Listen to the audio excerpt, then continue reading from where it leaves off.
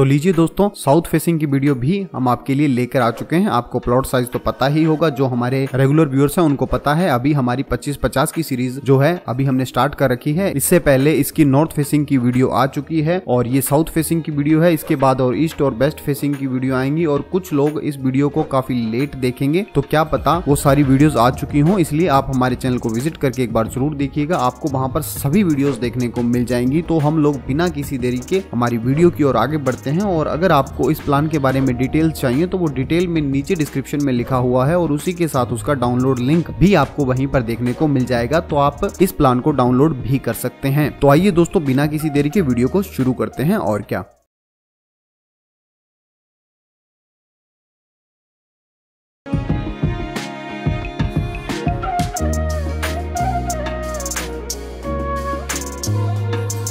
और दोस्तों, इसके बाद अगर हम हाउस के फ्रंट के स्पेस की बात करें तो आपको यहाँ पर फ्रंट में एक छोटा सा स्पेस देखने को मिल जाता है। और इसी के साथ दोस्तों, अगर हम हाउस के पार्किंग एरिया की बात करें तो इसका साइज़ आपका 10 फीट 3 इंच बाय 17 फीट और 9 इंच का रहेगा। अप्रोक्स 18 फीट के आसपास लंबी आपको यहाँ पर पार्किंग देखने को मिल जाती है। और इसी के साथ आपको यहाँ पर एक वेंटिलेशन के लिए गैलरी देखने को मिल जाती है। और दोस्तों, हमारा एक पार्किंग एरिया से गेट हमारा हाउस के किचन की तरफ़ जाता है, जो हमारी हाउस की प्राइवेसी के लिए हमने इसको दिया है। अगर आपके घर में अगर कोई कोई मेड आती है तो उसके लिए। तो उसके बाद दोस्तों जो हमारे हाउस की मेन एंट्रेंस है, उसको आप देख सकते हैं। हम एंटर करते हैं। एंटर करते ही आपको यहाँ पर हाउस का जो ड्राइंग रूम एरिया है, वो आपको यहाँ पर देखने को मिल जाता है। और इसका size 12 feet change by 13 feet का है।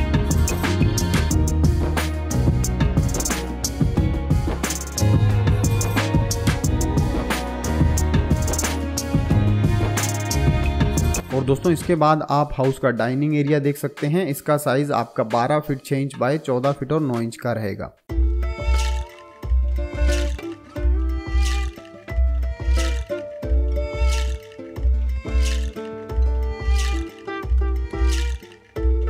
और दोस्तों, ये है हमारे हाउस का किचन एरिया इसका साइज़ आपका सात फीट तीन इंच बाय दस फीट का है, जो आपके इस प्लॉट के अकॉर्डिंग आपको यहाँ पर अच्छा साइज़ देखने को मिल जाता है। अगर आप इस किचन को एक्सटेंड करना चाहते हैं तो जो वो आपकी एक साइड में गैलरी है, आप उस तरफ़ इसको एक्सटेंड कर सकते हैं।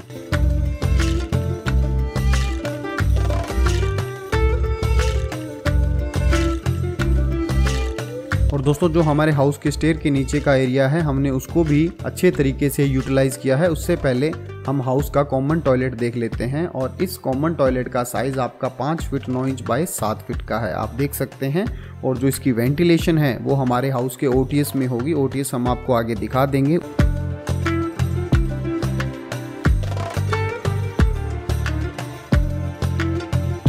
आप देख सकते हैं दोस्तों, आपको यहाँ पर जो स्टेयर के नीचे का एरिया है और जो हमारा OTS है, उसको मिलाकर आपको यहाँ पर एक अच्छा वॉशिंग एरिया देखने को मिल जाएगा। जो हमारा OTS है, वो ऊपर से हमारा एक हिसाब से हमने उसको ऊपर से कवर किया है। आप चाहें तो आप अपने हिसाब से उसको कवर करें या ना करें, वो आपकी इच्छा है। तो उसके बाद दोस्तों हम हाउस के पूजा रूम की तरफ़ चलते हैं। आप देख सकते हैं, ये हमारे हाउस का पूजा रूम है और इसका साइज़ आपका पाँच बाय चार फिट का है।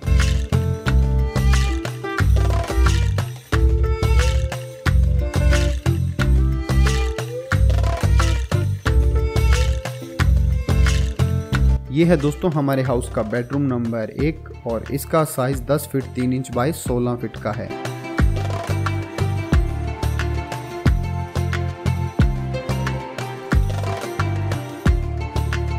और दोस्तों, आपको बेडरूम नंबर एक के साथ अटैच ड्रेसिंग देखने को मिल जाएगा। अगर आप इसी ड्रेसिंग के साइड में देखें तो आपको अटैच टॉयलेट भी आपको यहाँ पर देखने को मिल जाता है। और इस टॉयलेट का साइज़ 9 बाई साढ़े चार फिट का है और इस टॉयलेट की वेंटिलेशन भी हमारे ओटीएस के थ्रू होगी और हमारे बेडरूम नंबर एक की भी वेंटिलेशन ओटीएस के थ्रू होगी।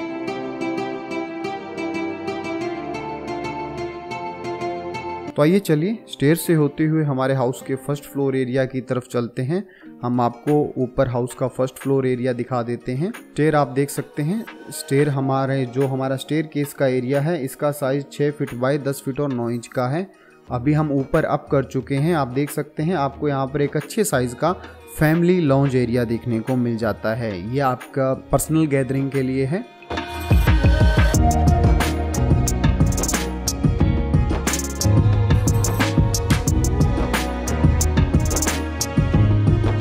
दोस्तों, आपको हाउस के फ़र्स्ट फ्लोर के ऊपर भी आपको यहाँ पर एक जो ये कॉमन टॉयलेट है, वो आपको यहाँ पर देखने को मिल जाता है। और इस कॉमन टॉयलेट का साइज़ पाँच फिट नौ इंच बाई सात फिट का है।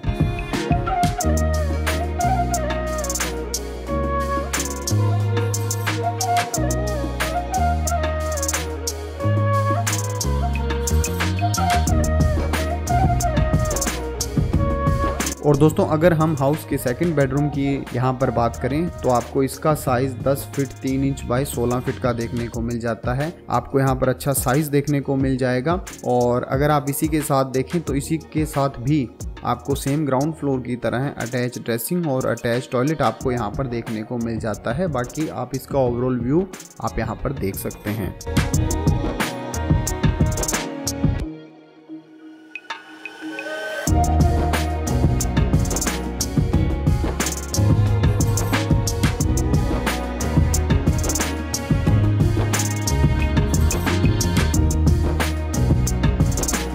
दोस्तों, जो हमारे हाउस का थर्ड बेडरूम है, आप इसको as a kids bedroom use कर सकते हैं। आप देख सकते हैं, आपको इसके साथ एक अटैच वार्ड्रोब एरिया भी आपको यहाँ पर देखने को मिल जाता है और इसी के साथ आपको अटैच बालकनी भी आपको यहाँ पर देखने को मिल जाएगी। और सामने अगर आप यहाँ पर टीवी यूनिट लगाना चाहें तो आप लगा सकते हैं। हमने यहाँ पर नहीं दिया है, क्योंकि हमारे हाउस के हर बेडरूम में एक टीवी होना कोई ज़रूरी नहीं है। तो इसी के साथ आप देख सकते हैं, आपको यहाँ पर एक अच्छे और बड़े साइज़ की आपको यहाँ पर बालकनी देखने को मिल जाएगी और आप अपने हिसाब से यहाँ पर प्लांटिंग वगैरह कर सकते हैं। एरिया आपके हाथ में है, आप जैसे चाहें आप इसको यूटिलाइज करें।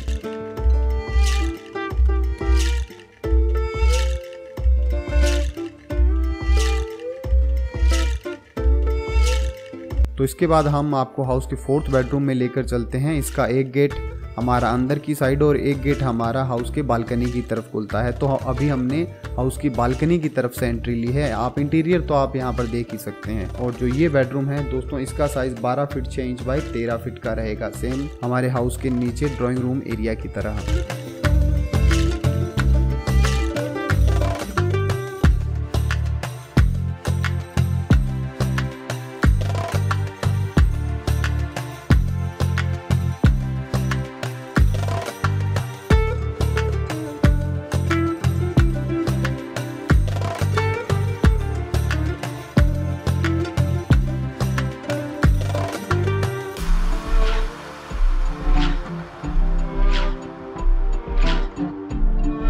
तो दोस्तों, इसके बाद हम हाउस के टेरिस पर आ चुके हैं। आप देख सकते हैं टेरिस आपको यहाँ पर काफ़ी ओपन देखने को मिल जाता है। हमने इस बार ज़्यादा इसमें प्लांटेशन वगैरह नहीं किया है, वरना स्पेस आप अच्छी तरह से देख नहीं पाते हैं। बाकी आप यहाँ पर अपने हिसाब से परगोला सिटिंग जो भी है वो आप यहाँ पर यूज़ कर सकते हैं और आप देख सकते हैं हमने आपको हाउस के ऊपर एक यहाँ पर कॉमन टॉयलेट भी दिया है।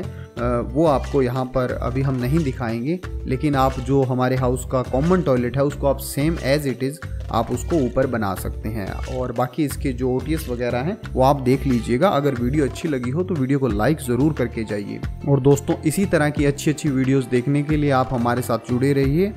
हम आपके लिए वास्तु के हिसाब से अच्छी अच्छी वीडियोस लेकर आते रहेंगे। तो इसके बाद हम आपसे मिलते हैं अगली वीडियो में। नमस्कार।